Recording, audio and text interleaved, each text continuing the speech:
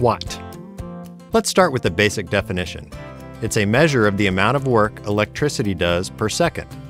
That's right, watts measure power.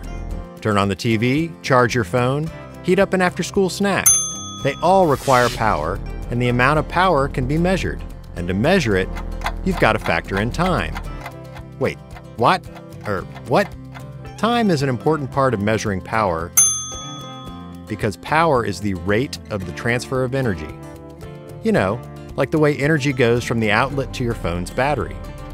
And obviously, the amount of time your phone charges affects the amount of power that's stored on the battery, right?